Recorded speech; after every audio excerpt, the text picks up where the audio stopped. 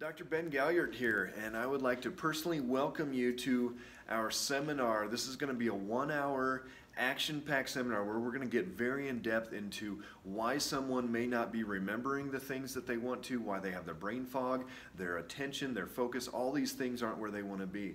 We have very specific tools that we're able to determine which part of the brain may not be working as well as it should, and what that's going to tell us is exactly where we need to treat and where we need to train that brain to do something different. We have a lot of ways that we're able to do this. Oxygen therapy, magnetic field therapy, the neurofeedback therapy, our brain training, all these different tools that we're able to show the brain exactly what it needs to do differently and get it to start repairing.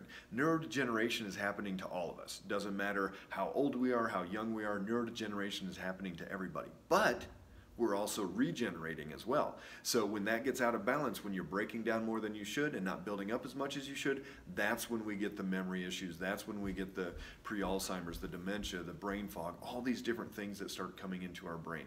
So we're going to show you exactly how we're able to help so many people get the results they want, get their lives back, get their brains back, and start making those dramatic changes that they need. I look forward to seeing you there.